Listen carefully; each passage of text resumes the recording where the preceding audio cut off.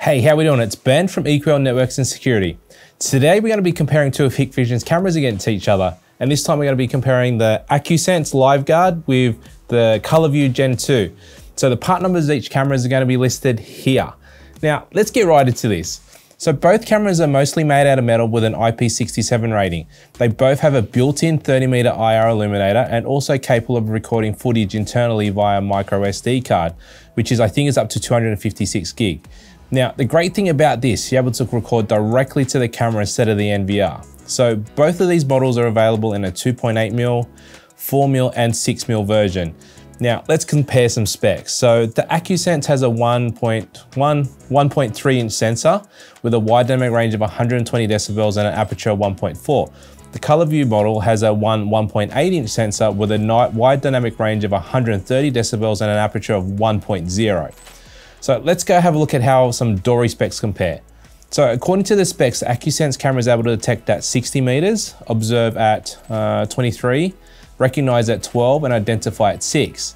The ColorVu, on the other hand, can detect at 58, observe at 53, recognize at 11, and identify at 2.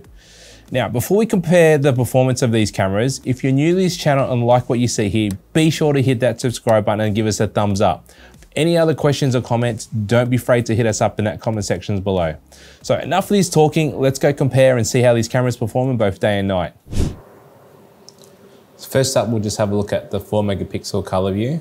Uh, and what you can see here is that, you know, it's a very good picture. Uh, it's quite sharp, very crisp, very clean. Uh, colors are very true. Next, we'll jump into the four megapixel, uh, the AcuSense. Uh, once again, you know, everything's crisp, it's clear, uh, and colors are very true. Now, when we compare them side by side, uh, you actually see that the AcuSense has got just a slightly bit narrower, narrower, narrower field of view uh, compared to say the ColorVu. Um, but when you look at them both together, uh, they're actually very crisp and clear uh, images here. So just trying to see if there's any real differences between the two. The AcuSense kind of looks like it's a little bit sharper compared to the ColorVu, uh, but overall they're both very good pictures. Now what we'll do is we'll do a bit of a walk test. Uh, as I'm walking along here, and if I freeze it there, um, in both pictures and both cameras, clearly make out, um, you know, colors and even you know can make out some facial features at that particular distance. Now in this next pass, I'll actually walk up to probably about four meters to the camera.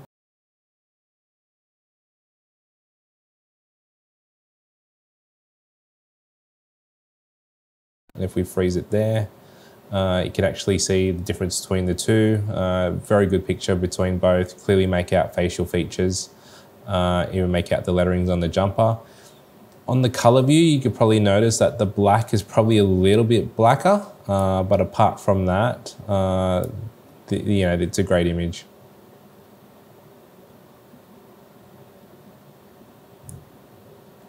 Next what we'll do is we'll zoom into the left here. Um, clearly see the number plates on both, uh, make out letters and numbers uh, on, on both cameras here.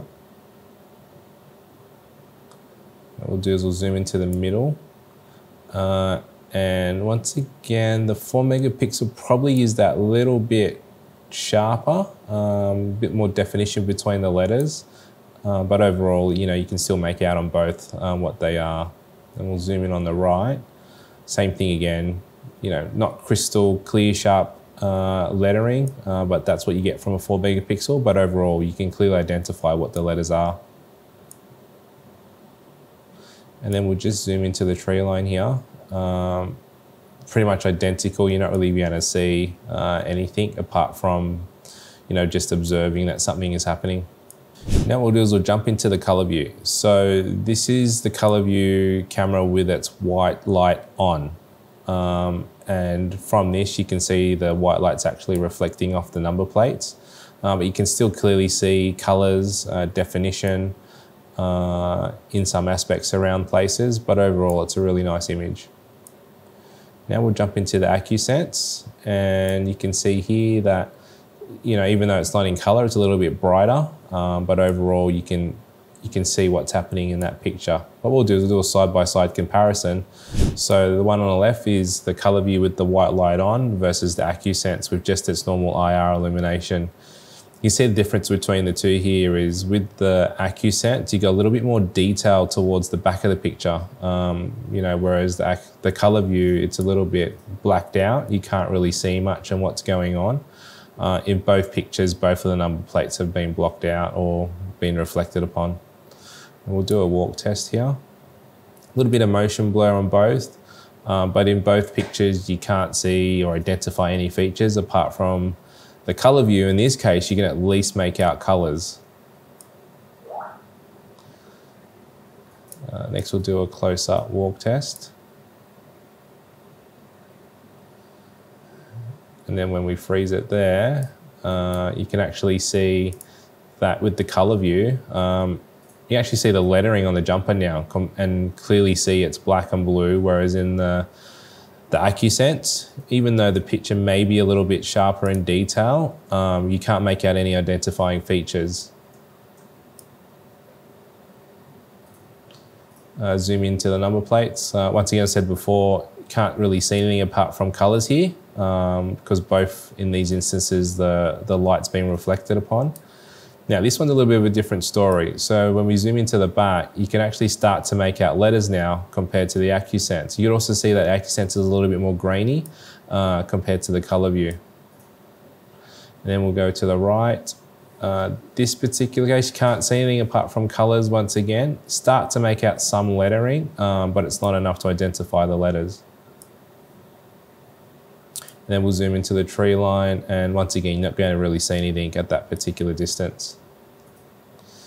Now, this is where it gets interesting. So this is with the ColorVu um, with the white light turned off and it's totally changed the image of the picture. Like it's, everything's just brought to life, everything's standing out now uh, compared to with the white light on. And you can see here, you can start to see the lettering on the number plate.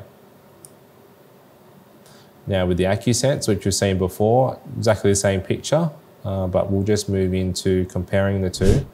And then you can see the difference between the two here. Um, ColorVu, you can clearly see the lettering. You can even see the background. You can see colors. You can see everything that's happening in that picture uh, compared to the black and white image. Um, do a walk test here. So in both cases, like you're still getting that motion blur. Uh, it's actually improved a little bit on the black and white uh, AcuSense, but uh, overall in the ColorVu, you still make out colors, no identifying features. Next point, we'll do a close-up walk test.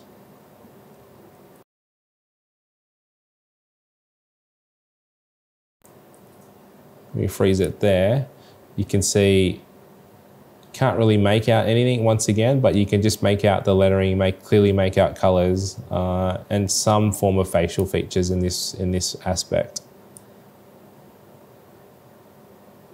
We'll zoom into the number plates now. Now, in this particular case, now we're starting to see and identify lettering on number plates, um, which is really cool. But also, on top of that, you're getting that uh, benefit of having color and identifying colors. We'll zoom into the middle here. Now, funny enough, in this case, the numbering uh, is not as good compared to when the white light was on. Uh, and in this case, you can't really make out any letters uh, compared previously in both images.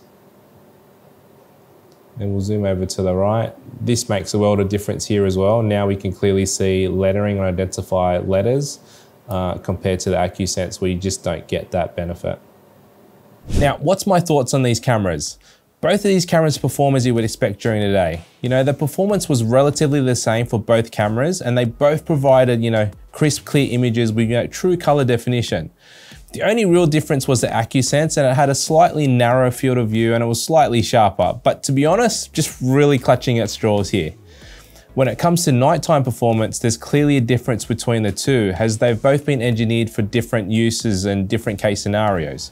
You know, the AcuSense is only capable of IR during the night, whereas the ColorVu can do color in 24-7.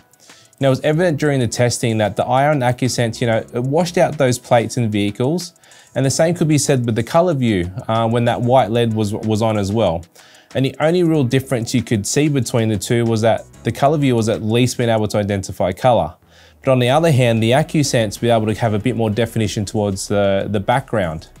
So if both of these cameras, you know, maybe we could see the number plates if the camera was positioned differently, because in this case it was, you know, head on.